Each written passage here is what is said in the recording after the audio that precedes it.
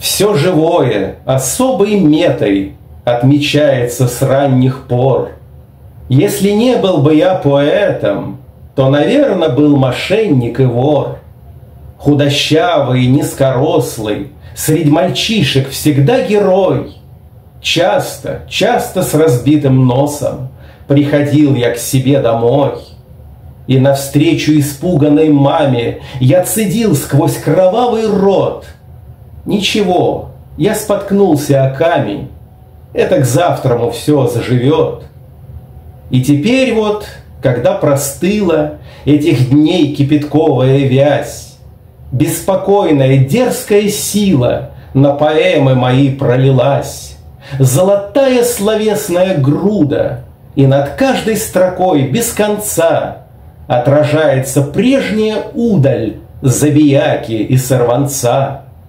Как тогда я отважный и гордый, только новью мой брызжет шаг. Если раньше мне били в морду, то теперь вся в крови душа.